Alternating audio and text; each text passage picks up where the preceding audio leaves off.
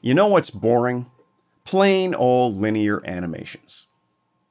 They're so 1990s. But you know what's super cool? Animations that accelerate, decelerate, and bounce around like objects in the real world. In this tutorial, you'll discover how to apply advanced easing motions to create a slick, bouncing title like this one.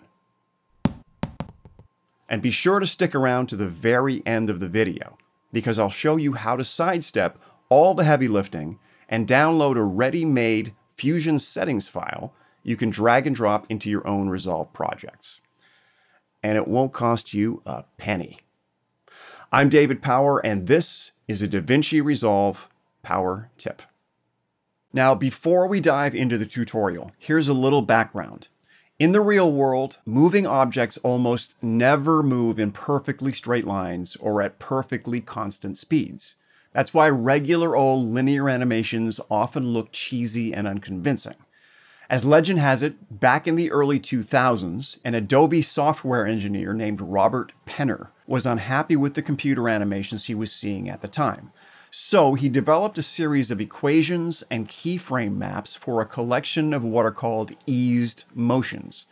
On some level, we can all thank Mr. Penner for the built-in spline functions we use today in Premiere Pro, Final Cut, DaVinci Resolve, and other modern video editing software. For instance, in Fusion, you can create text animation with just two keyframes. Open the spline panel, select the keyframes, hit the S key, and adjust the spline handles to create almost any shape you want. But a bouncing title is a little more complicated simply because it's not a single curve, but a series of curves joined together. So let's build one. To kick things off, from the Edit tab, let's open the Effects library. Then under Toolbox, choose Effects. And then drag a Fusion composition onto the timeline. Place your playhead anywhere above the clip, and hit the Fusion icon to jump to the Fusion tab. We'll start by adding a Text Plus node. You can do that in one of two ways, either by clicking the Text Plus icon here on the toolbar, or by hitting Shift and Space on your keyboard, typing TEXT, choosing Text Plus from the list, then clicking Add. Next, select the Text 1 node with your mouse and add a Transform node. Again here, you can do that by clicking the Transform icon on the toolbar, or by hitting Shift and Space on your keyboard, typing Transform, selecting the Transform tool, and clicking Add to add it to your Fusion comp. Next, connect the output of the Transform 1 node to the input of Media Out 1. Now let's add some text. I'll select the Text 1 node with my mouse, and in the inspector pane, enter the words Bouncing Title in the Style text box. I'll leave the font as Open Sans bold, and the size of 0.08 is fine for right now. And now let's start animating. Back on your node tree, select the Transform node. This next step is important because it gives us precise control over the Y position of the animation. In the inspector pane, right-click on the center label, choose Modify With, then select XY Path. This will eventually let us see the actual path we're editing. If we don't choose XY Path, when we later edit the spline, we'll be looking at what's called a displacement path rather than a position path. A displacement path shows us the relative position changes between keyframes, but not the actual X and Y values themselves. That will hopefully make sense in just a minute. Okay, next we'll use the center Y coordinate to animate the bounce. Let's say the center of the screen where the text appears right now is where I want the title to end up when the animation's complete. And let's also say I want the animation to take one second to play out. I'm on a 24 frames per second timeline, so I'll move my playhead to frame 24 and click the small diamond icon to the right of the Y coordinate to add a keyframe at this position. Next, I'll shrink the canvas down a little so we can see some additional space at the top and bottom, and I'll move the playhead back to position 0 on the timeline. Next, I'll grab the vertical or Y coordinate handle in the center of the title and slowly drag it upwards until the text is no longer visible on the canvas. You want to stop as soon as the bottom edge of the text disappears from the canvas area. And if we now look at the center Y parameter, you'll see Fusion has automatically generated a keyframe for us. So let's play this back. The title moves as we expected, but as you can see right now, it's very linear and mechanical looking. And that's no bueno. With a little effort, I uncovered a site containing a lot of the eased motion curves Robert Penner documented. If you want to get deeper into easing motions and the equations behind them, you'll find a link to this site in the description. On this page, I found the keyframe transforms for the bounce motion we're going to create right now. The keyframes are displayed in percentage terms, so I used a Google Sheet to transform them into frame numbers and screen positions. That gave me a table of 10 frame and position pairs I need to enter into Fusion as keyframe values.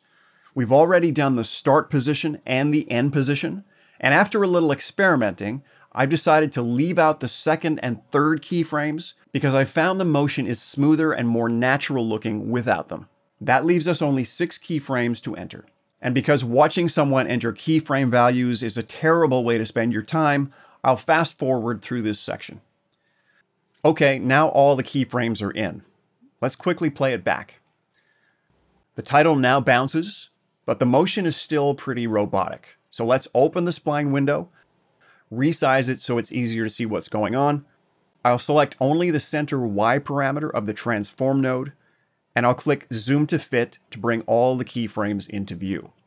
Okay, you can now see how the path is starting to look like a bouncing object. If you dropped a tennis ball onto a hard surface, it would bounce around a few times before it stopped, and each bounce would have a little less energy than the one before it.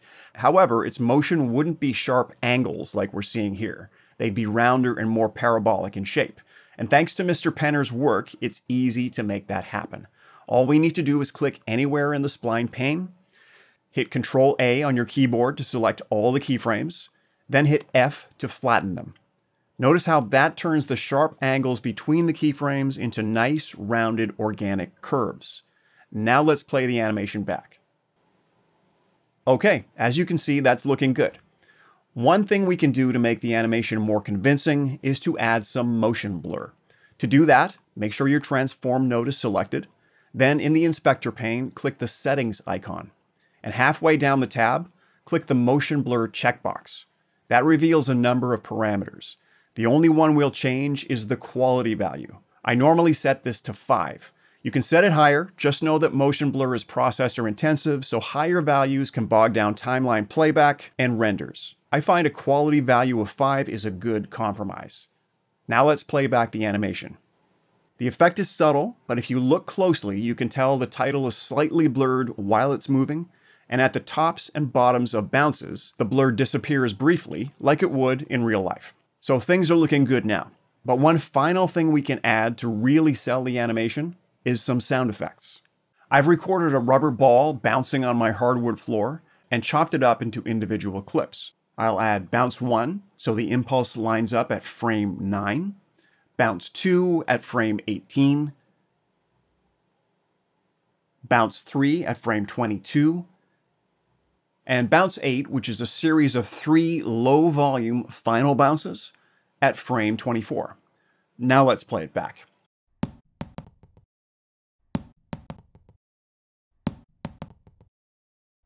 Yes, that's feeling really good. I like it.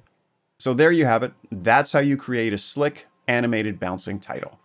As I promised at the start of the video, I'm making the assets we created today, including the sound effects, available for download at drfreebies.com.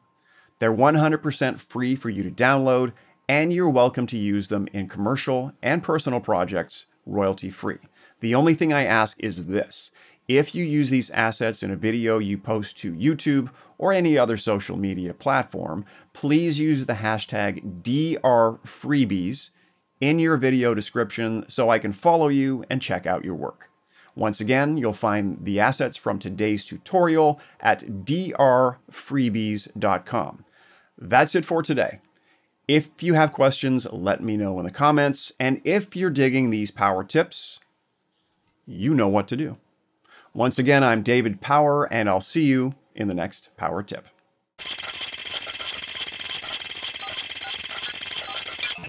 Thank